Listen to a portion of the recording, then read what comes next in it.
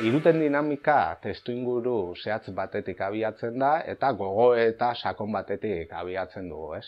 Iruten dinamika orain dela iruzpala urte indarrean jarri genuen dinamika izan zen, garai horretan e, lonze eta orain ere indarrean zegoen, Euskal Herrian e, eragileok lonzeri aurka egiteko borondatea izan bagenuen eta aktibatu ginean, baina ohartuta geunden e, alternatiba eraikitzeko orduan, hau da, baiesko atxerrei esaterako orduan, eraikitze klabeetan jartzeko orduan, hainbat arazo sortzen zirela eragileen artean, ez? Eta er horrelako blokeo bat sortzen zitzaigula eta ez ginela gai guk nahi genuen hezkuntza sistema propio horren bidean urratsak emateko.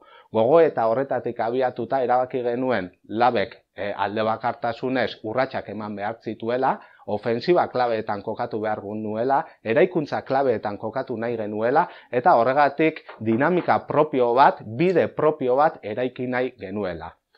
Era berean ere, e, garai horretan sindikatua birpentsatzen prozesuan murgildurik zegoen, sindikalgintza beste ikuspegi batetik hausnartzen ari ginen, eta horri ere ekarpena egin nahi genion irakaskuntzatik azken, ba, azken batean bat egiten genuelako gure afiliatuak, gure delegatuak direla aktibo nagusienak. Beraiek direla eraldaketa prozesu honetan agente aktiboenak eta horregatik lehen lerrora ekarri nahi genituen ere gure afiliatu eta gure delegatu guztiak.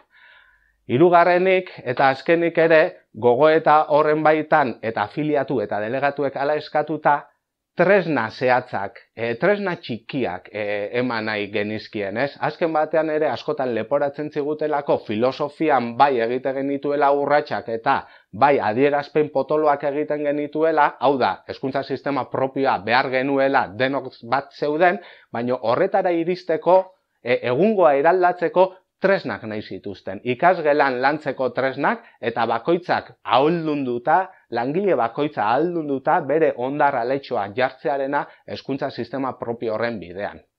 Eta azkenik, eta iruten kontzeptua bera ere e, etzen hausaz hartutako kontzeptu bat, ondo pentsatutako kontzeptu bat zan, izan ere iruten bera eraikuntzak edo eraikuntzarekin zerikusia duen e, hitz edo kontzeptua da, ez? Eta era berean ere iruten berak hiru zenbakia edo berak barnebiltzen du eta guretzako hiru zenbakiak badu e, indarra handia hezkuntzari dagokionez, ez? Izan ere eskola komunitatea bera hiru agente nagusien baitan eraikitzen da, langileak ditugu, ikasleak ditugu eta familiak ditugu. Iruten berak ere hiru agente horien arteko elkarlana bilatzen du, hiru agente horien sinergia bilatzen du eta hiru agente horien baitan eraiki nahi du hezkuntza sistema propio hori. Iruten bera ere e, ikusten duguna da begirada luzeko proposamen bat bezala, lehen hurbilpen bat egiten ari gera, esperimentatzen ari gera, Eta tresna hau iruditzen zaigu oso baliagarria izango dela eh, gure hezkuntza sistema propioa eraikitzeko bidean. Aipatutako oinarriak dituelako, baino baita ere kontestu politikoak eskatzen duelako eraikuntza klabeetan aritzearena. Gure estatu propio hori eraikitzeko bidean, e, gure estrategiak finkatzearena eta gure proiektuak e, egitearena. Bide horretan ekarpen e, haundia da iruten bera. E, askotan gertatzen da papelean oso ondo eta dana eusten duela papelak, baina gero filosofia hori lurrera ekartzerako orduan eta errealitatera ekartzerako orduan hor sortzen dira eztabaidak edo arazoak, ez?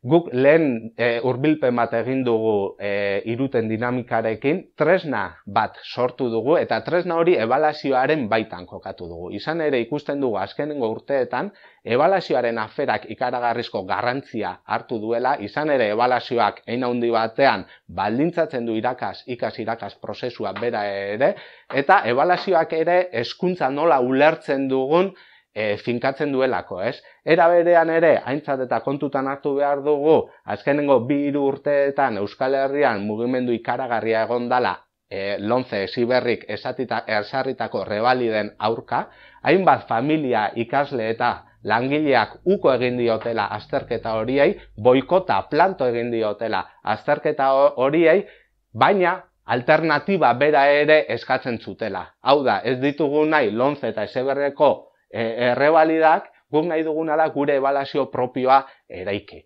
Orduan, bide horretan labek erabaki zuen eraikuntza horretan ekarpen bat egitearena, aurreko ikasturtean e, Euskal Herrian azken urteetan egin diren jardunaldi potentenetako batzuk egin ginen, oronan egin genuen ebalazio ezitzailearen babespean, bertan adituak, ikastetxea, langileak, irakasleak, ikasleak eta bar parte hartu zuten, eta oso e, jardunaldi oparoak izan ziren. Orain, aurkezten dugun e, lehen aletxoa edo lehen e, liburuska hau, hortik eratorritako e, emaitza da.